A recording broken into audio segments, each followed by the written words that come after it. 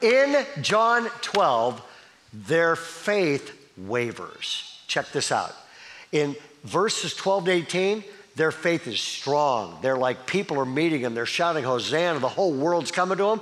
And get this 20 verses later, five days later, they're all running around going, um, I don't really know the guy and I don't want to be public about it. You know, they go from strong faith to wavering faith in like 20 verses in five days, okay?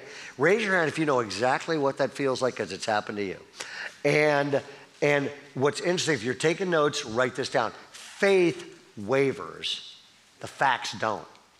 Faith wavers, but the facts don't. That's why Jesus, at the triumphal entry, which is part two of this, Jesus says these words. He goes, If the people stop crying out, then the rocks will cry out. What he's saying, get this, this is kind of deep stuff, so just look at it. He is saying, if the people cry out, he's saying that's subjective to God's real, I feel. it. the people cry out, and he goes, but if they stop, the rocks will cry out. That's objective. He is saying when people stop saying Jesus is Lord, he's still Lord.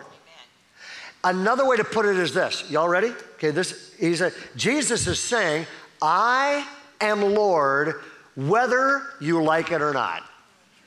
I am Lord whether the government likes it or not.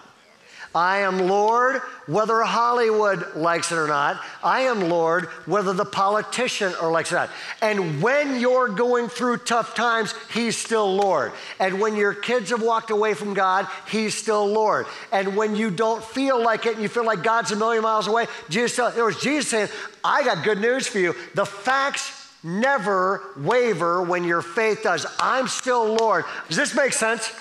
And if you get this, it will give you a much more solid faith, which will strengthen your life and strengthen everything about you, and you don't have to be afraid anymore.